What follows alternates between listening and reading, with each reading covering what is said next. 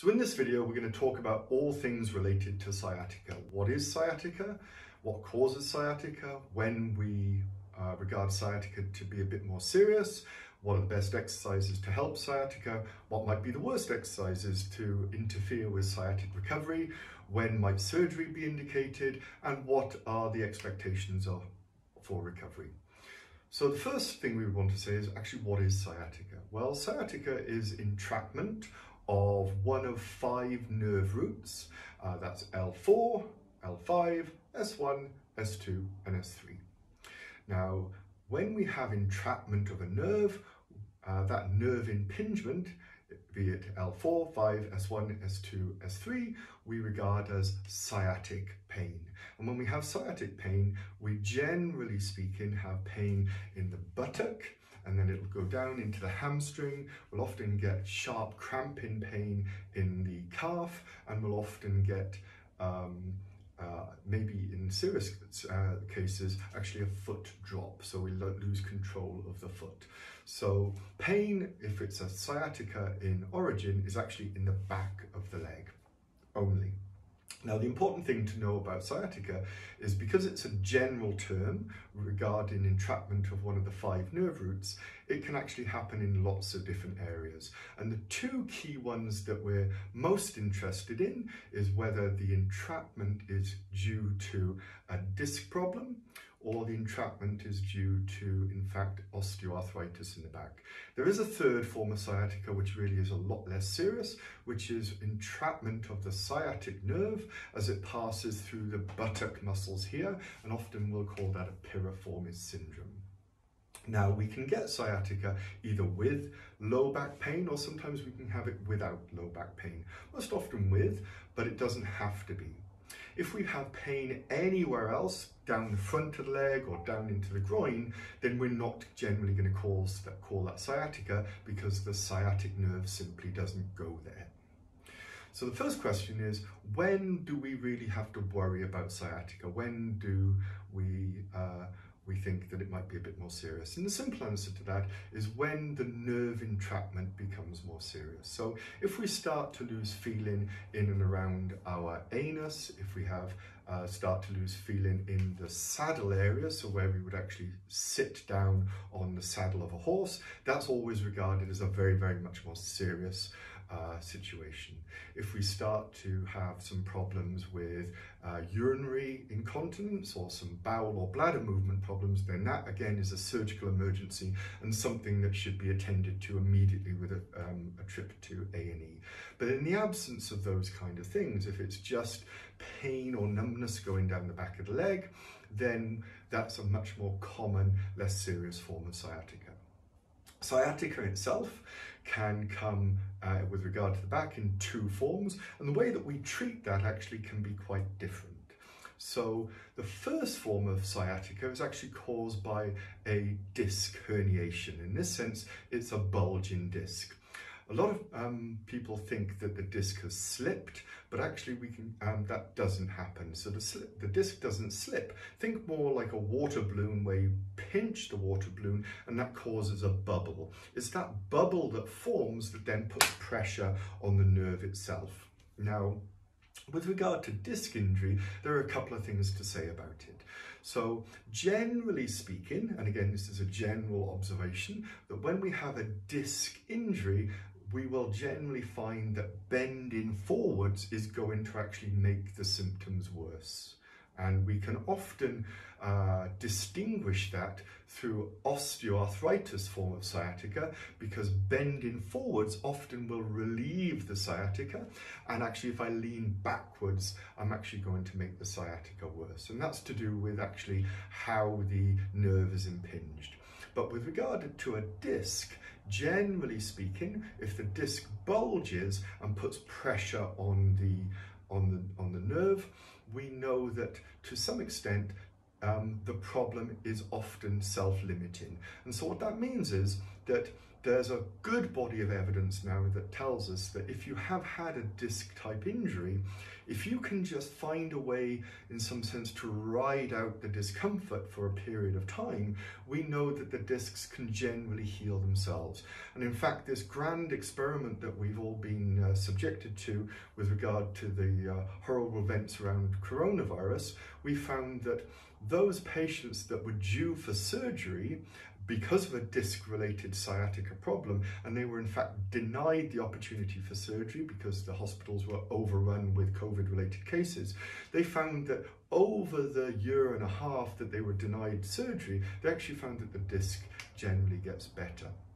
So the good news there is that whilst the pain is very, very severe, generally speaking, over time, if you do the right thing, discs will actually heal and uh, the pressure is taken away off the nerve.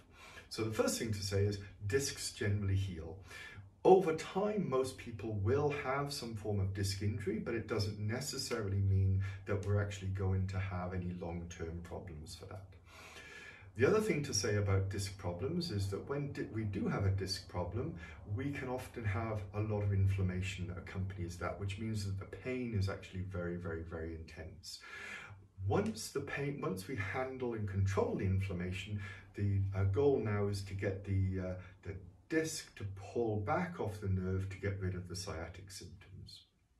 Generally speaking, younger people, perhaps people under 40 or 50, are more likely to suffer a disc type injury. And so they're more likely the diagnosis of sciatica will be due to a disc type problem. And having had a disc type problem, it will need an exercise program more suited to recovering the disc. As you get older, what tends to happen is the cause of the sciatica is much more likely be, to be related to osteoarthritis. And osteoarthritis is essentially where you get a lot of bone growth into the hole that the um, nerve comes out of, and that uh, increases then the pressure on the nerve, giving you similar symptoms of sciatica. Because remember, sciatica is just pressure on the nerve, whether it's a disc or whether in fact it's a, a bone growth. If you have a osteoarthritic form of sciatica, then what you're going to find is that you won't have any much problem flexing forwards often, but leaning backwards as you compress the joint more is actually going to cause some problems. But in all circumstances, the treatment is roughly the same. It depends whether it's an osteoarthritis or a disc problem. We'll direct you specifically to a different form of exercise, but the way that we treat that in clinic is always the same. So the first thing we want to do in clinic is actually establish what the cause of your sciatica is. Is it discal type sciatica or is it an osteoarthritic type of sciatica? Because as I say, the treatment slightly varies in a, in a in a specific sense, but in a general sense, it's the same. If you have a discal or osteoarthritic form of arthritis, the first thing that we want to establish is everything else, like your pelvis, your core, your hips, all working well in order to take the pressure off the back. Because generally speaking, what we find is that the back often isn't the bad guy. The back is often the good guy working really, really hard to try to protect you because other things aren't working. So one of the first things that we do in clinic that's perhaps a little different to other clinics is we want to try to strengthen up your core. We want to strengthen and make sure your hips are working really, really beautifully. We want to make sure that your rotation through gait is working really well, because if we don't do those things first, we're going to find that you're still going to overload the back somewhere. So obviously the strategy eventually is to try to strengthen up the back, but we often find the first thing to do is actually try to strengthen up the core, strengthen up the movements in the pelvis and strengthen up the movements in the hip. So what are the best exercises? Well, generally speaking, as we say, the first thing you want to do is actually increase the amount of pressure in your abdomen. And so what that means is the core stability isn't often what we might think. We generally think of core stability as just our six-pack muscles here, muscles in our tummy. But actually that's not what, what uh, your core stability is. What your core stability really is, is your barrel of pressure that you can create in order to actually create a a bubble of pressure that protects the back. And that's made up of four things. It's made up of your diaphragm at the top, your pelvic floor at the bottom is made up of your tummy muscles here, and in fact your back muscles at the back. So one of the things that we advocate in clinic here is actually trying to do a core strength program. And to that end, we'd invite you to look at our um, core strength exercise program to try to build up the strength. But in general terms, this involves a lot of breathing work. It involves generally what we call them McGill Big Three, which is doing a lot of Supermans and a lot of bird dogs and things of this nature. The second best form of exercise you will find with, um, with a sciatica type problem or indeed any type of nerve impingement is actually nerve flossing.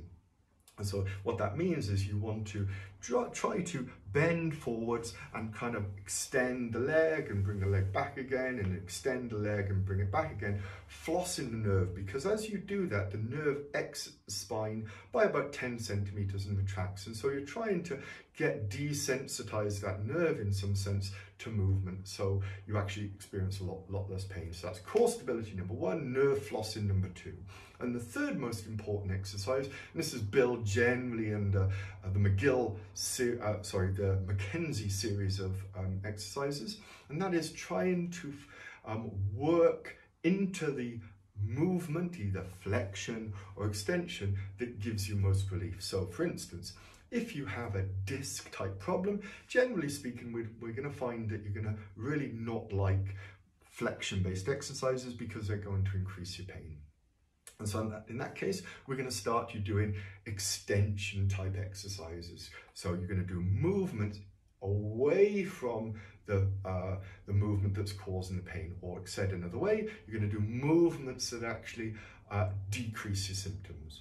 If you have osteoarthritis, you're going to be more likely to be saying, when I'm standing up, my back aches if I do it for any period of time, and then I get the sciatic symptoms. But leaning forwards um, on a shopping trolley or leaning forwards on a counter reduces my symptoms. So in which case, you're going to do a lot more flexion exercises. You're going to move into the position that actually reduces your symptoms.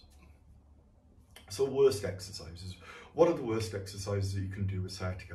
Well, we don't really think in this clinic that there are any worst exercises because eventually, if we can rehabilitate you in the right way, we so see no reason why all types of exercises should should not be uh, shouldn't be back on the table providing you're prepared to do the correct rehabilitation and the correct strength work.